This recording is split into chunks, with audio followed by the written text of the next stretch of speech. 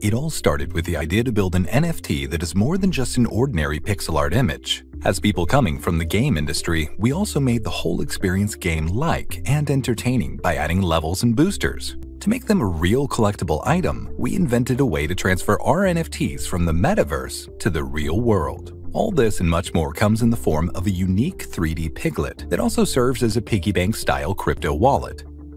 At first, we started conceptualizing and designing the piglets. We 3D modeled different traits and combined them in random with various probabilities, from very common ones to really, really rare ones. The result was more than 2 billion unique trait combinations. Of those 2 billion, we selected 12,345 at random and uploaded them to IPFS.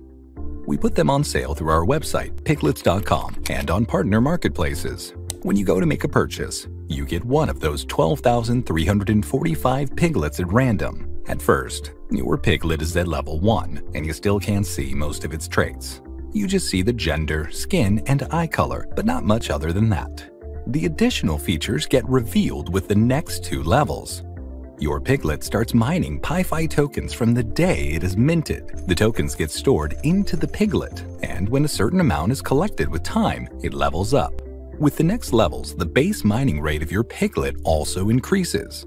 The way to speed up this process is by putting in additional crypto tokens. Don't forget, your piglet is also a piggy bank. You can speed up the mining process by completing tasks and thus activating boosters. An example task would be to put three different crypto tokens into your piglet or collect piglets with three different zodiac signs. Every completed task gives you a certain percentage of boost on your mining speed.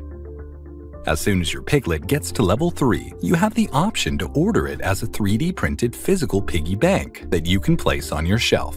The moment you do this, your NFT is locked in the blockchain and you then receive the physical representation of your NFT delivered to you. The way to reverse this is to break your physical piglet. Inside, you will find a code that will let you unlock your piglet in the blockchain and use it there. The totality of piglets comprises a mining network producing a distributed token called PiFi that has a limited total supply. The more piglets you have, and the faster your piglets level up compared to other piglets, the greater part of the total token supply you'll end up with. The whole twist to the tokenomics is that in order to use a piglet's tokens, you have to break it just like a real piggy bank. This destroys the NFT, ensuring the deflationary nature of the project.